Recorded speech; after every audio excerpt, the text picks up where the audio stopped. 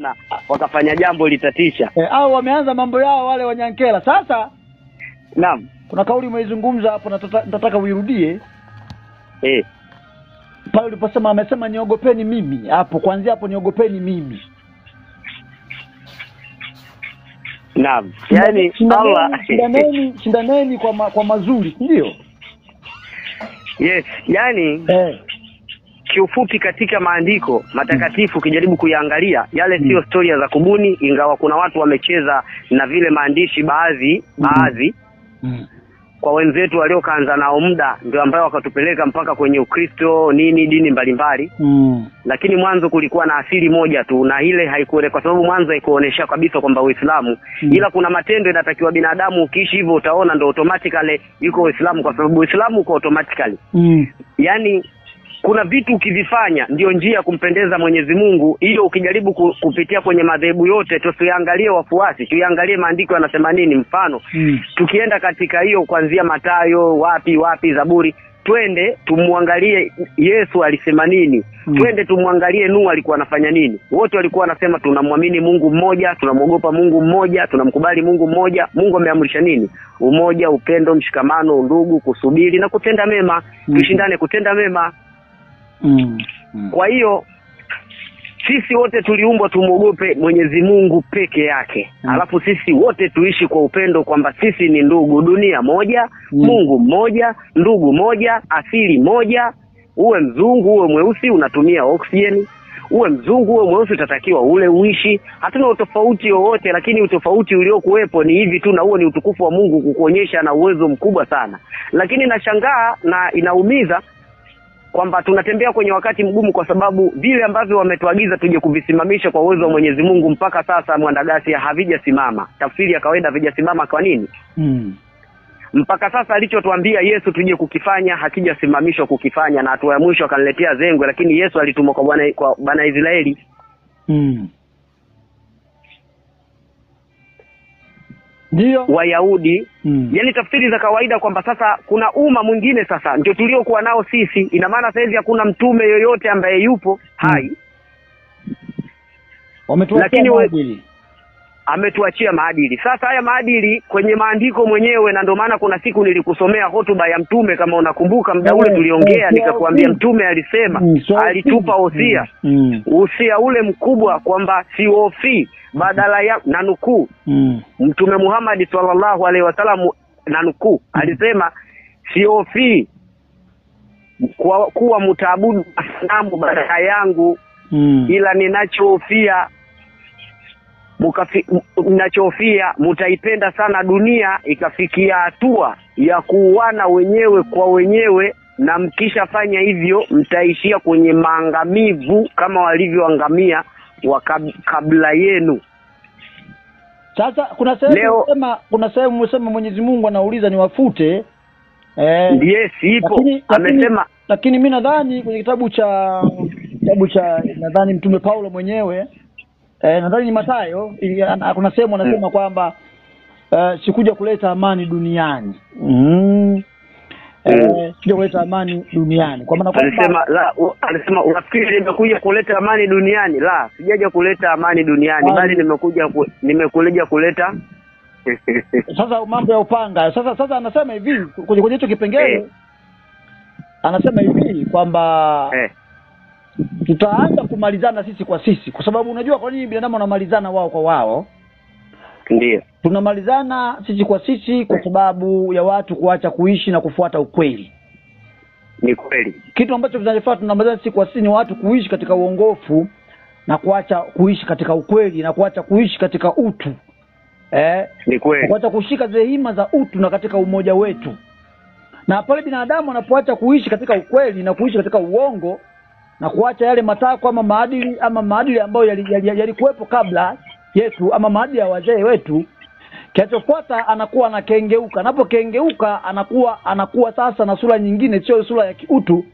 Mwisho wa siku na wanaanza watu kumalizana wao wao kwa wao. Kama unavyoona vita ambavyo vinaendelea huko duniani ni Ngoja tujazie hapo Mwandagasia. eh Tusipache hivi vitu, kipache hivi vitu na feli. Lengo ujumbe mkubwa ufike kwa yote mwenye akili ambaye ameumbwa na Mwenyezi Mungu mtukufu anayetumia uwezo wa juu kuweza kupambanua mambo na iwe ni kwa faida yetu ya watu wote ili tuweze kufikia tunachotaka kufikia kuliko kuacha tuje kuangamia ambapo hatuna amali njema zozote ambapo sasa hivi inatakiwa tupiganie tutende mema ili iwe manufaa kwetu sisi na isiwe hasara mbele ya Mwenyezi Mungu ambaye yeye ndo anaweza kuitoa roho ya mtu yoyote kuliko hao wengine wanaweza kuusumbua mwili tu wasiweze kuusumbua roho kwa maana wote siku yetu ni moja hapo hapo katika Qur'ani tukufu kitabu cha Mwenyezi Mungu mtukufu kimeeleza Mm. Mwenyezi Mungu amesema katika Qur'ani maana tafsiri za Qur'ani katika tafsiri moja nafikiri albayana kwa wenye kuikishika vizuri watajaribu kukieleza na wataweka sawa na wataona hayo maneno ya Mwenyezi Mungu mtukufu sio yangu mimi sio ya kubuni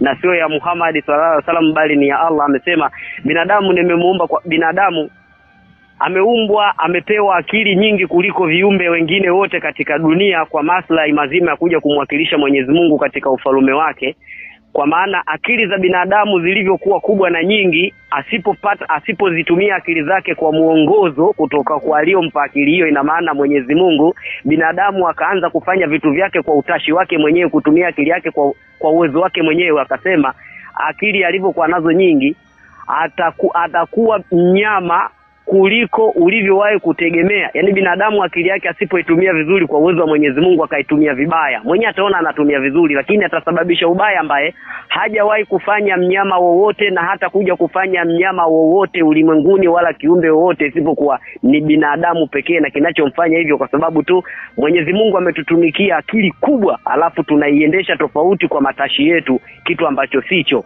ina maana mimi ninaweza kubuni silaha. Lakini natakiwa marufuku nisibuni silaha kwa sababu ile silaha hata kama nitasema mwendagasi gasi mimi na wewe tuende company. Hii hapa panga ili tununue mapanga tuyaweke hapa. Mimi nikichanganya mimi kwa sababu mimi binadamu nikichanganya mimi nitakupiga panga. Na wewe ukinichanganya nikupige panga.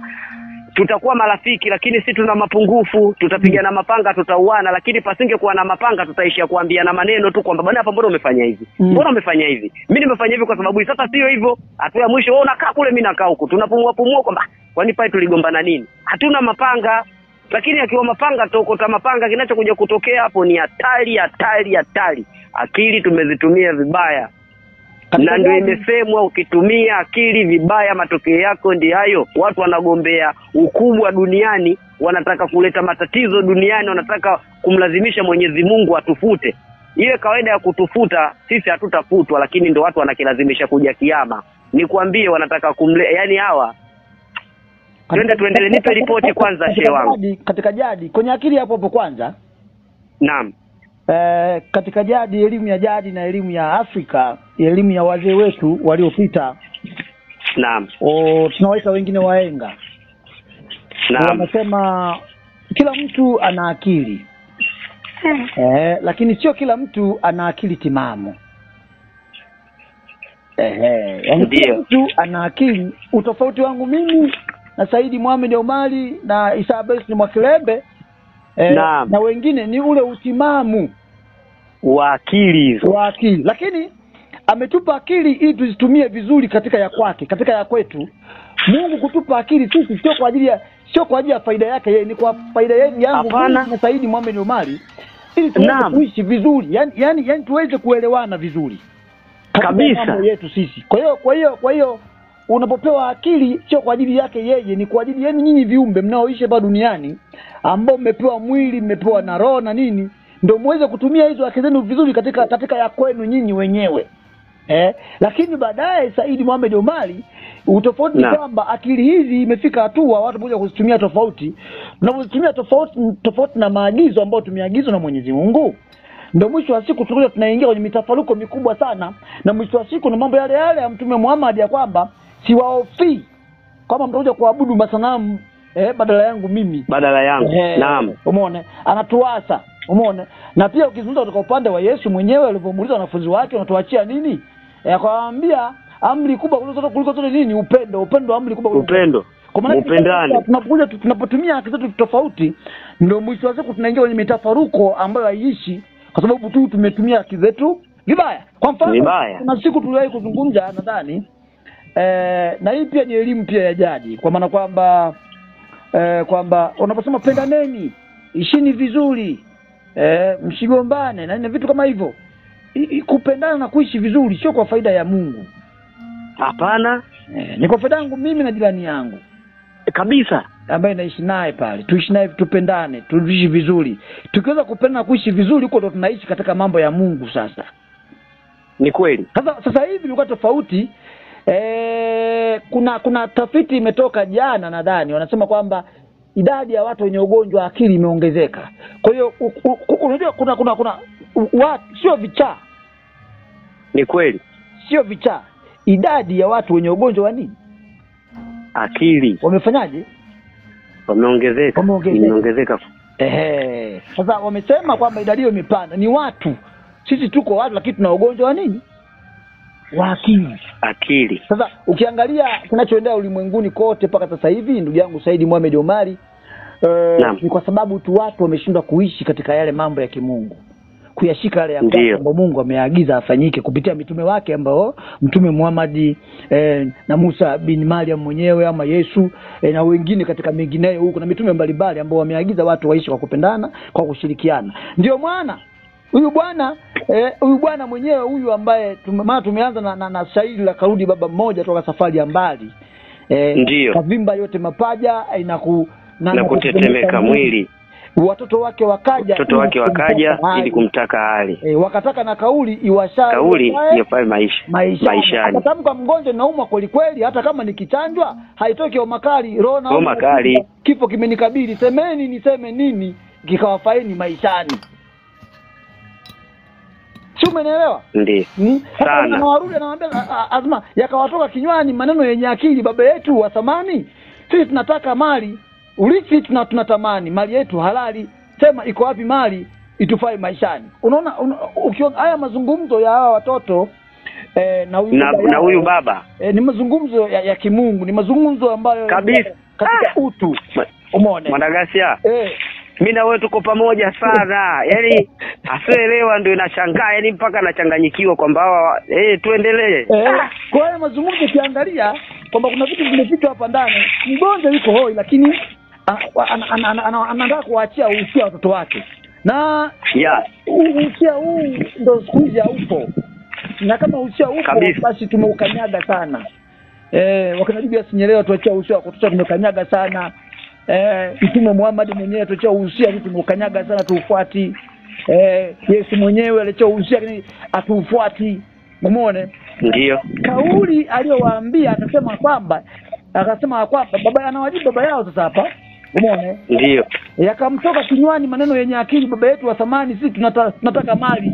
Ulize tunaotamani mali yetu ya halali sema iko wapi mali tu itufai maishani. Baba aliyekufanya kajibu ile swali ninakufa maskini baba yetu na hali. Neno moja lishikeni kama mnataka mali kama mnataka mali mtapata shambani. Wakazidi kumchimba baba, baba mwenye homa kali. Baba yetu watufumba hatujui fumbo hili. Ndio. Eh, hatujui fumbo hili akili zetu nyembamba hazijajua metali kama tunataka mali tutapataje shambani